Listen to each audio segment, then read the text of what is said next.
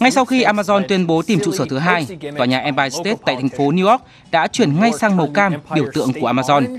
Và liên tiếp các thành phố khác cũng bước vào cuộc chạy đua.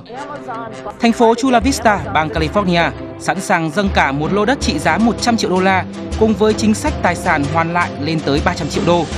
Thành phố New Jersey thì đề xuất hỗ trợ 7 tỷ đô la cho Amazon. Thậm chí thành phố ứng viên Fresno, California mạnh dạn hơn, đưa ra lời đề nghị rằng Amazon có thể kiểm soát cách chính quyền chi tiêu thuế thu được từ Amazon. Song Chicago mới là thành phố điên rồ nhất khi chào mời sẽ hoàn lại 52 đến 100% tiền thuế thu được từ cá nhân của toàn bộ nhân viên Amazon trong tận 10 năm. Cuộc đua cay cấn là vậy, thế nhưng nhiều chuyên gia cho rằng kế hoạch của Amazon là một cái giá quá đắt cho các thành phố.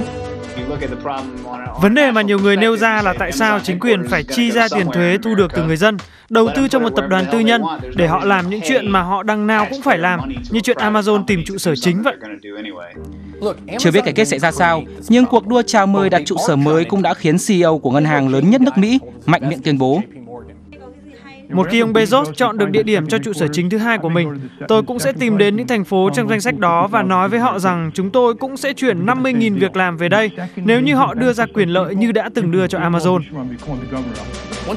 Rõ ràng, tạo được công an việc làm là quan trọng và khi người dân có thu nhập cao sẽ thúc đẩy chi tiêu và nâng cao đời sống của thành phố.